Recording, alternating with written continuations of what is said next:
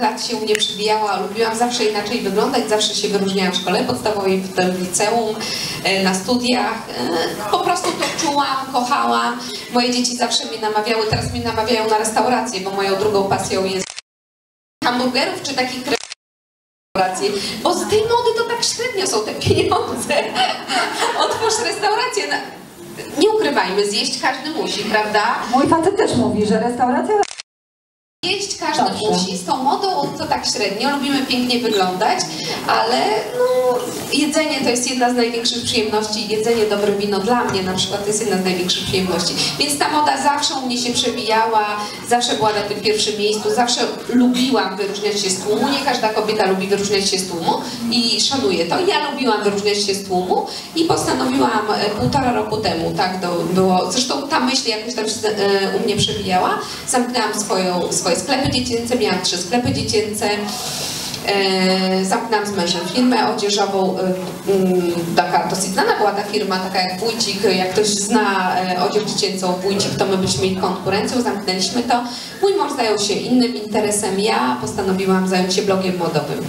I jakoś tak, no, wy, no wyszło, zainteresowało, zainteresowałam media i tak wyszło.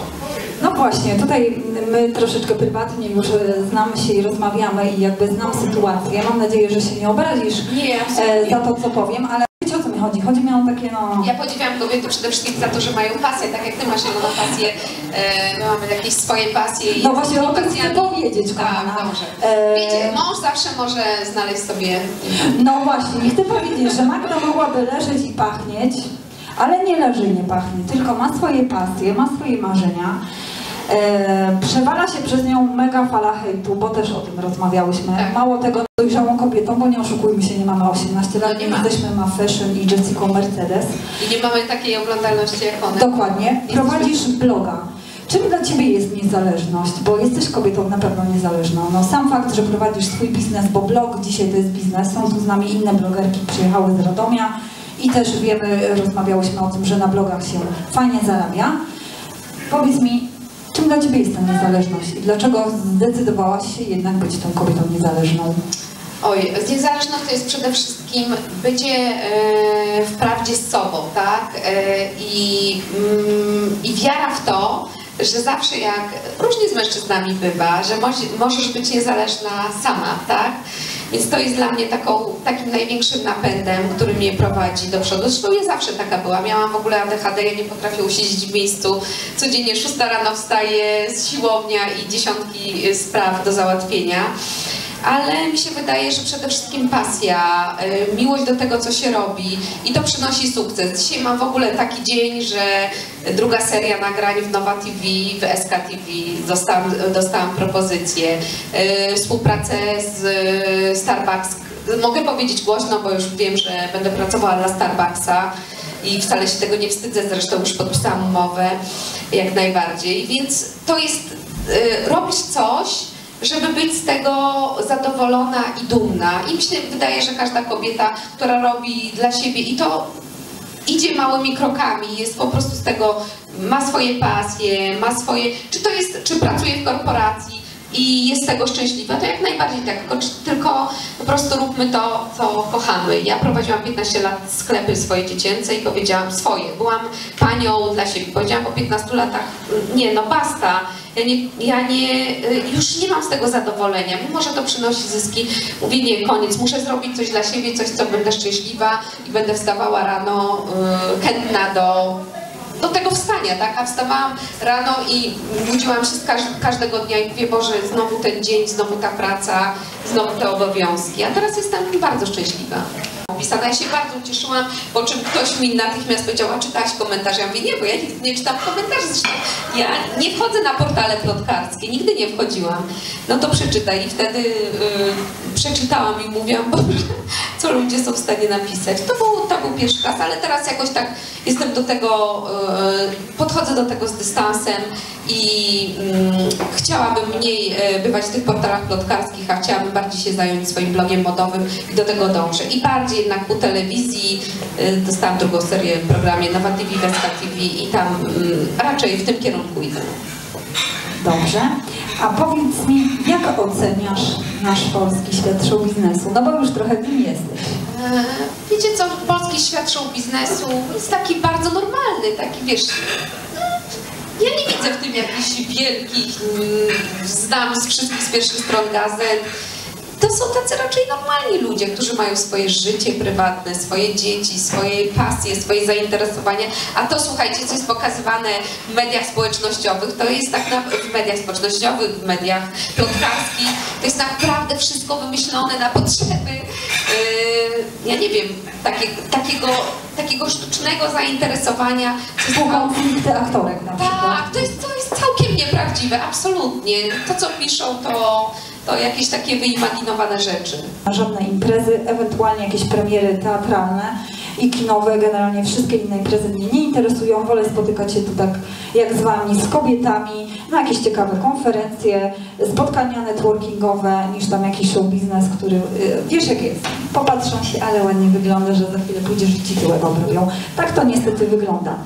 Dlatego, drogie Panie, nie czytajcie życia na, znaczy nie, no nie mogę tak powiedzieć, ale nie czytajcie albo z przymrużeniem oka, bo połowa romansów, która jest e, na pudelkach i w gazetach, to jest wystana e, z palcem, e, wystana z palcem, wystana. Część to są tak zwane układy show biznesowe, jeżeli chodzi o pewne małżeństwa, więc więcej nie będziemy zdradzać. Ważne, że my się spotykamy Dokładnie. i mamy jakieś ciekawe tematy do porozmawiania, niż tam kto z kimś pi, jaką mam torebkę. No dobrze, powiedz mi kochana, czy faktycznie między blogerkami jest konkurencja? Wiesz co, ja nie znam e, życia blogerek tych młodszych, tak? Ja jestem blogerką po 35 roku życia. Czy jest konkurencja? Chyba nie, nie spotkałam się No z ty tym. nie masz. E, ja, ja znam wszystkie e, z pierwszych stron gazet e, blogerki, które podobnież zarabiają miliony, tego nie wiem. E, nigdy nie było między nami konkurencji. Myślę, że to jest po prostu, wiesz, różnica wieku i różnica odbiorców. I nie, absolutnie nie ma. Mi się wydaje, że taką, e, taką osobą, którą mogłabym e, w, jakim, w, jakimś, w jakimś stopniu do której można byłoby mnie porównać, to niektórzy mnie porównują do Macadamian Girl, tak, znanej z TVN-owskich programów, dlatego, że mamy troszkę inną urodę, e, no ona jest ode mnie chyba 14 lat młodsza, więc w ogóle się nie porównuje z nią do wieku, ale ma kolorowy styl ubierania się, taki kolorowy ptak. Ja też jestem trochę takim kolorowym ptakiem, nigdy nie biorę, yy, nigdy nie inspiruję się żadną blogerką na świecie, czy polską blogerką. Ja ubieram to, co mi się podoba i co uważam za stosowne i jestem taka w tym prawdziwa, nie wiem, mi się wydaje, że ludzie dlatego to czują. I chętnie obserwujemy dziewczyny, blogerki, y, które coś zakładają, które coś nam podpowiedzą, bo my często nie mamy na, to- czasu, mamy multum spraw do załatwienia, y, dom, dzieci, rodzina, no wszystko y, te sprawy. I chętnie się wzorujemy. A, ale nie mówię, że całą stylizacją. O, jakie fajne buty ma na sobie, o, jaki kolor szminki. Ja, naj, najlepsze jest to, że jak pojawiam się w telewizji, w pytaniu na śniadanie, to jest największy odzew na moim blogu, wtedy mam y, codziennie ilość wejść na analityksie blogowym y, 8, dzi- 8 tysięcy procent więcej niż, Wow. to jest niesamowite, niż pudelek media społecznościowe nic nie dają. F- y, Fame daje telewizja. E, więc wtedy mam e, największą ilość wejść na bloga. Wtedy mam setki zapytań, a, a jaka to bluzka, a jakie to buty, a jaki to kolor szminki, a jaki to podkład, a, a skąd te rzęsy, tak? Więc to jest taka, reklama dla kobiet.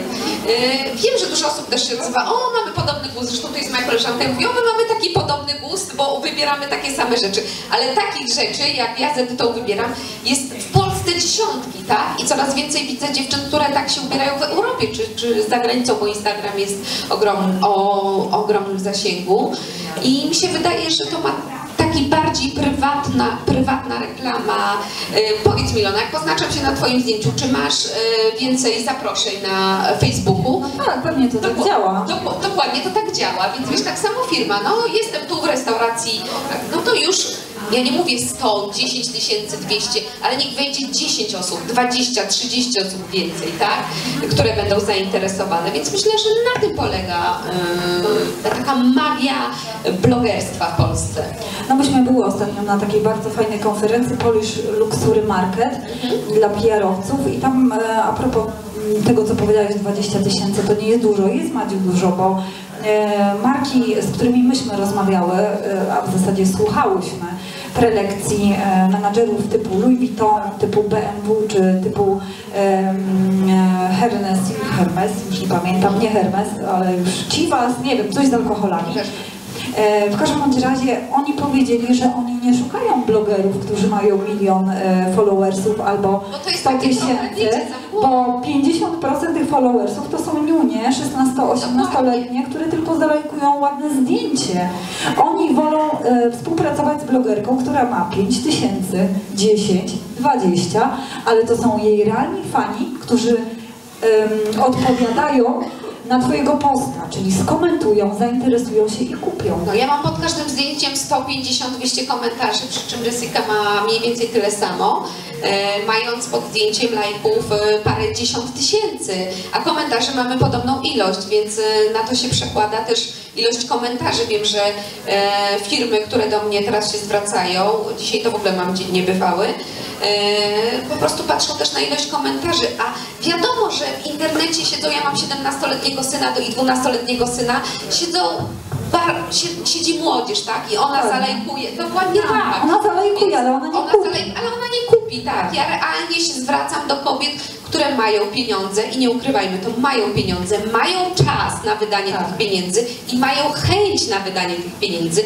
i mają czas na to, żeby o siebie zadbać i o siebie zawalczyć i wiedzą, że to jest ten moment, one już wychowały dzieci lub nie mają dzieci, bo y, różnie, to bywa, różnie to bywa w życiu, ale i mają czas dla siebie i ten czas właśnie nadszedł i to, że się ins- zainspirują mną, czy, y, bo jest, y, żebyśmy, że, żebyśmy nie y, egzekwowali tego, że ja jestem jedną w Polsce blogerką po 65 roku życia. Jest blogerek takich przynajmniej 10, 15, może nie jest tak medialnych, bo nie pokazują się tak w mediach, ale które mają więcej followersów niż ja i na których się wzorują dziesiątki kobiet, setki kobiet w Polsce i to jest piękne, że kobiety po 35, po, po 35 roku życia, po 40 roku, po 50 chcą o siebie dbać i właśnie mi o to, że chodzi, żeby pokazać pewien styl życia, tak?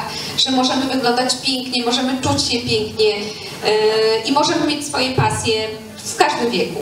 No, mam znajomą, która teraz książkę wydała, blogerka po 60 i prowadzi bloga dla kobiet po 60. No Pani właśnie. Krystyna, polecam. Nie pamiętam, nie chcę skłamać nazwiska. Black, Blackler, już nie chcę skłamać nazwiska, ale słuchajcie, fantastyczną książkę wydała, jak się ubierać Już nie 60. gadamy, bo panie są zanudzone. Dobrze. Jesteście zanudzone? Ja myślę, że zasłuchane, a nie zakochane. A jestem mega gaduła, więc wiesz. Dobrze. Gorące brawa, Madzia reklamuje książkę i poleca to. Nie,